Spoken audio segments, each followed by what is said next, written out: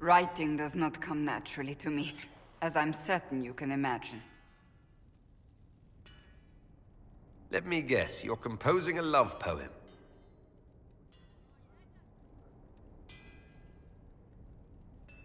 I couldn't. Not even if my life depended on it.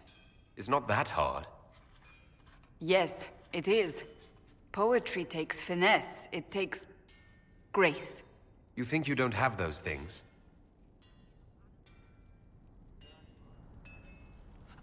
Historians will one day ask what happened at Adamant Fortress, in the Fade. I was there. I saw it with my own eyes. It must be recorded. That's an excellent idea, Cassandra.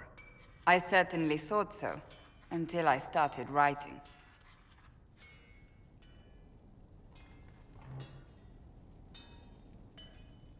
I still don't know what to say about the spirit of the Divine.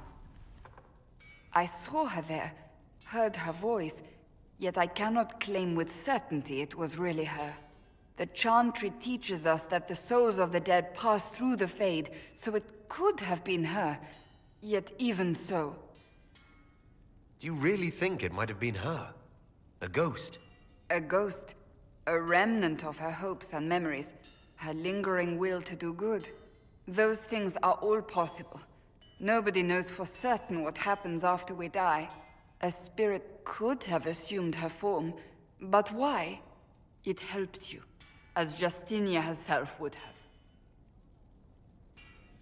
I believe it was the Divine. She helped us one last time.